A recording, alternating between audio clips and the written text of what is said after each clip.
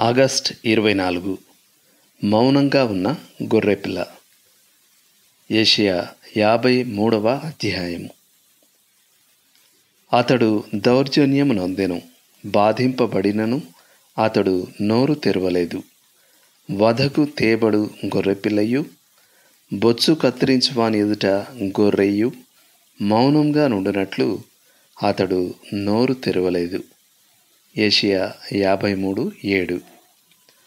ఈ వాక్య భాగంలో సేవకుడు ఓ గొర్రెపిల్లతో పోల్చబడ్డాడు. అది లేఖనాల్లో రక్షకునికి తరచూ వాడబడే గుర్తుల్లో ఒకటి. పస్కా సమయంలో ప్రతి యూదు కుటుంబం కోసం ఒక గొర్రెపిల్ల మరణించేది. అలాగే రక్షకుడు తన ప్రజల కోసం మరణించాడు.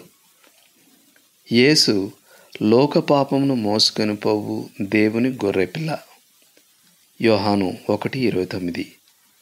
అంతేగాక ప్రకటన గ్రంథంలో ఇరవై ఎనిమిది సార్లు యేసు గొర్రెపిల్లగా ప్రస్తావించబడ్డాడు. యేసుక్రీస్తు నేరస్తులతో పాటు ఓ నేరస్తుడిలా సిలువ వేయబడ్డాడు గనుక ఆయన మృతదేహాన్ని సమాధి చేయకుండా వదిలేయడం న్యాయమే. కానీ దేవునికి వేరే ప్రణాళికలు ఉండినాయి. ఆయన మరణం సువార్తలో ఎంతగా భాగము? ఆయన భూస్థాపన కూడా అంతే భాగం. ఎందుకంటే భూస్థాపన ఆయన నిజంగా మరణించాడు అనడానికి రుజువు.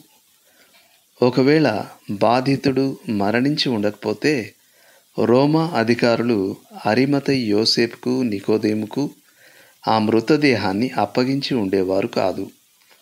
యోహాన్ సువార్త పంతొమ్మిదవ అధ్యాయం ముప్పై ఎనిమిది ముప్పై తొమ్మిది వచనాలు. యోసేప్ అంతటి ధనవంతుడు మరణశిక్ష విధించే ఆ ప్రదేశానికి అంత దగ్గరగా తన కోసం ఓ సమాధిని తొలిపించుకొని ఉండేవాడు కాదు. మరీ ముఖ్యంగా తన ఇల్లు మైళ్ళ దూరాన ఉండగా. అతడు దాన్ని యేసు కోసం తయారు చేశాడు. మరియు భూస్థాపన కోసం సుగంధ ద్రవ్యాలు మరియు ప్రేత వస్త్రాలు సిద్ధంగా ఉంచాడు. మతయి ఇరవై ఏడు యాభై తొమ్మిది అరవై వచనాలు. ఎంత అద్భుతంగా దేవుడు యషయా ప్రవచనాన్ని నెరవేర్చాడు. లోతుగా ఆలోచించాల్సిన విషయం. ఏ ఏ విధాలుగా గొర్రెపిల్ల యేసుకు ఓ మంచి గుర్తుగా ఉంది?